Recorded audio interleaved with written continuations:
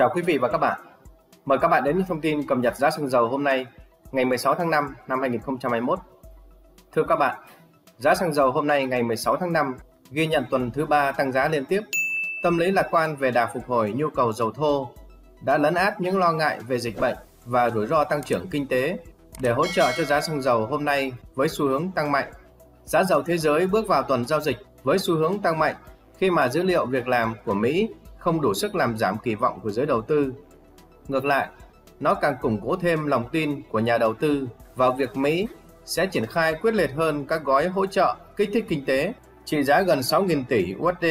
Thưa các bạn, kết thúc phiên giao dịch cuối tuần, trên sàn New York Mercantile Exchange ghi nhận giá dầu thô ngọt nhẹ WTI giao tháng 7 năm 2021 đứng ở mức 65,5 USD trên thùng, tăng 1,66 USD trên thùng trong phiên.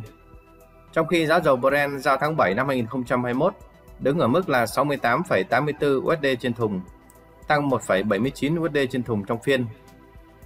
Tuy giá dầu ngày 16 tháng 5 cũng ghi nhận thị trường dầu thô cũng đang chịu nhiều áp lực giảm giá lớn.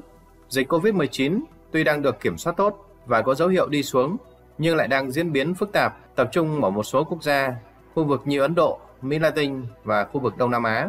Đáng ngại hơn, diễn biến tiêu cực của dịch bệnh COVID-19 ở Ấn Độ được cho sẽ còn phức tạp hơn khi ngày càng nhiều bệnh nhân ở quốc gia này mắc bệnh nấm đen.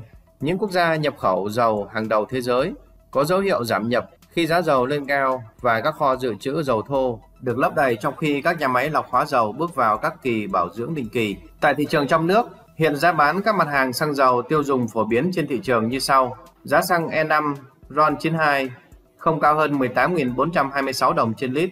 Giá xăng RON 953 không cao hơn 19.531 đồng trên lít. Giá dầu Brent 0.05S không cao hơn 14.774 đồng trên lít. Giá dầu hỏa không cao hơn 13.825 đồng trên lít. Giá dầu mazut 180 CST 3.5S không cao hơn 14.279 đồng trên kg. Cùng với đó, tại Tập đoàn Xăng dầu Việt Nam, giá bán lẻ các mặt hàng xăng dầu cũng được chia theo vùng. Sau đây là bảng chi tiết. Xin mời các bạn theo dõi.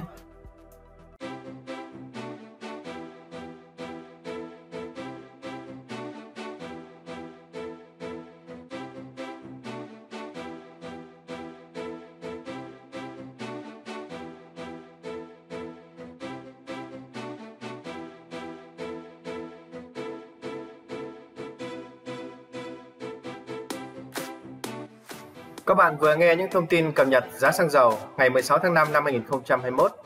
Cảm ơn các bạn đã quan tâm theo dõi. Xin chào và hẹn gặp lại các bạn trong những bản tin tiếp theo.